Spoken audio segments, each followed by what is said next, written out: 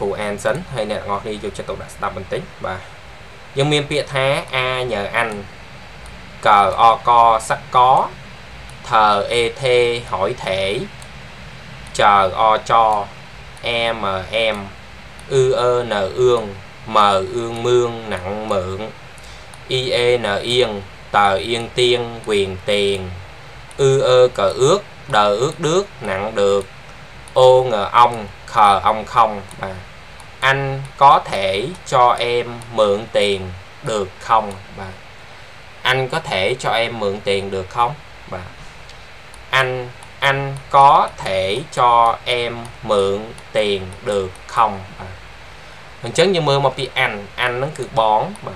có thể mà pi pi nâng tay đón pi xiếng. Có thể mình này thà à nó mà mai giống mình này thà á Việt Nam, có thể, bà cho cho nó cứ ảo em em nó cứ ổn mượn tiền mượn tiền xây lôi giống việc xây gì cái mượn và mượn đó, lối tiền và mượn tiền xây lôi đó, được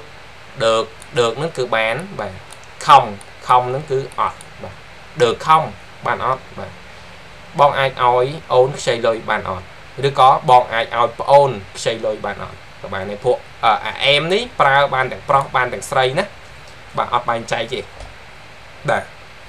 អត់ដែលយើងចង់ហៅអូនឬក៏ប្អូនយើងហៅតែអែម anh có thể cho em mượn tiền được không anh có thể cho em mượn tiền được không បងអាចឲ្យអូនខ្ចីលុយបានអត់ណាបាទគ្រូអត់តនេះបរៀនខ្ចីលុយបាទហើយឲ្យស្រួលខ្ចីលុយ